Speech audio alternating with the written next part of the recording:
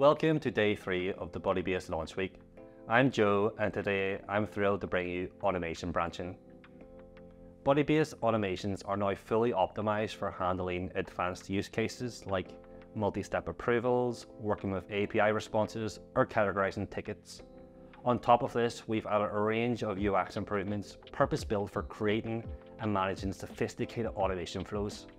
Let's jump right in. Our first feature, automation branching, allows you to perform different sets of actions depending on the rules you define.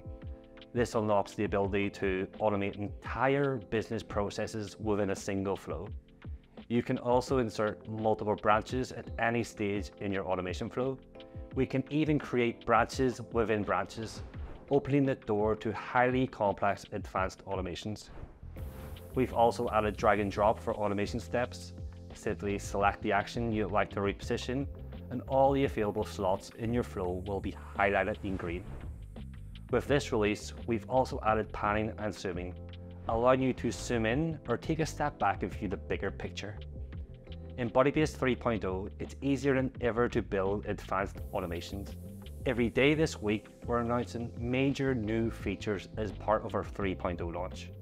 Tomorrow, we're introducing the ability to power your workflows with AI. Be sure to join us to learn more. Thank you, buddies.